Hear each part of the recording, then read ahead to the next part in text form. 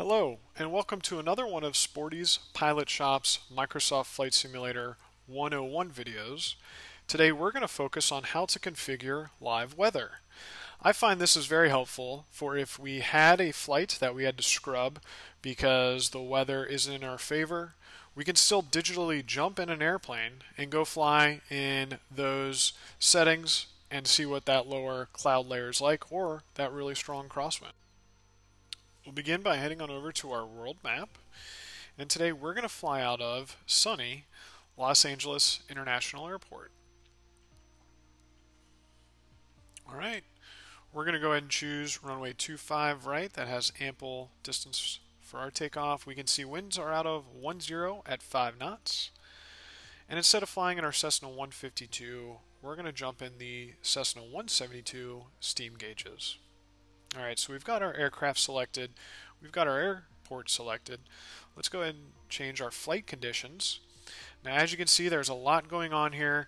Uh, over to the left, our first row is the multiplayer. We can actually have other AI or other simulated flyers uh, put into the system. We're going to skip that today. We also have live traffic. We're able to import actual airplanes flying in the sky into our digital world. Uh, for sake of this video, we're going to turn that off. We just want to focus on weather. Now, in the custom settings, you can see we can change our live weather to a bunch of different populated settings. We also have cloud layers. In the preset menu, again, the preset settings uh, for whatever you'd like that day. Uh, but for sake of this video, we're just going to go with live weather. It's currently 3.02 p.m. out in LA. And let's go ahead and jump in that airplane and fly.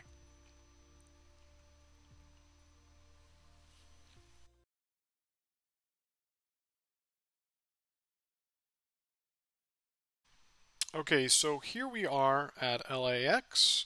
We'll go ahead and hit ready to fly.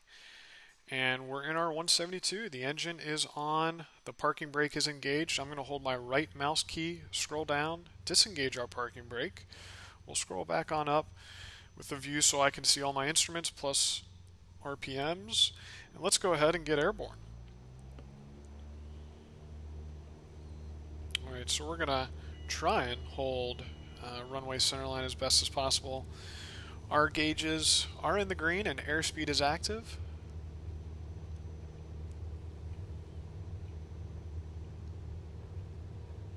And we'll go ahead and rotate right around 60. And let's head on out the airplane. Alright, as you can see, we're climbing out. I'm going to keep us somewhere in between 70 and 80 knots, holding runway centerline. And as guessed, it is a beautiful sunny day in Los Angeles. Now, I'm not going to get into too many other details about weather. I just wanted to show how to configure it to the live weather at your airport. I think we've accomplished that. Uh, we're going to have more videos coming on how to get more detailed in weather and also airports, so we hope you'll tune in. We hope this video was helpful. And as always, have fun digitally flying.